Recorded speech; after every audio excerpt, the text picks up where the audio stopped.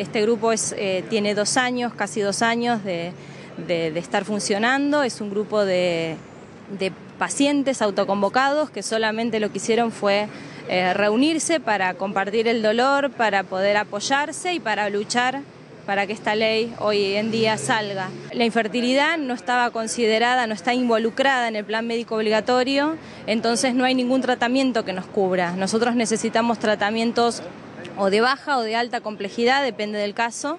Este, y hasta ahora no teníamos ningún, ningún tipo de cobertura, solamente en provincia, la ley que está en provincia, pero también es bastante restrictiva.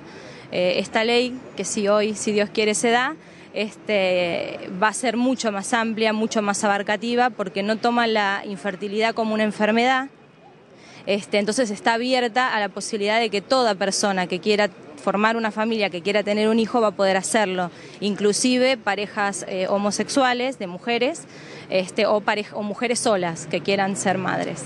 Tanto las obras sociales como las prepagas van a tener que cubrirlo porque está dentro del plan médico obligatorio. Toda nuestra esperanza de que esta ley salga, hace mucho que venimos luchando junto, junto a otros grupos y la verdad que todas las expectativas para hoy. Es un sueño de nosotras ser madres.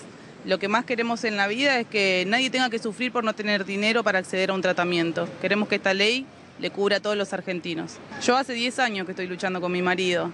Eh, hicimos ya varios intentos, pero fueron negativos y después, bueno, uno ya no puede juntar el dinero y ahí es donde se traba un poco ya.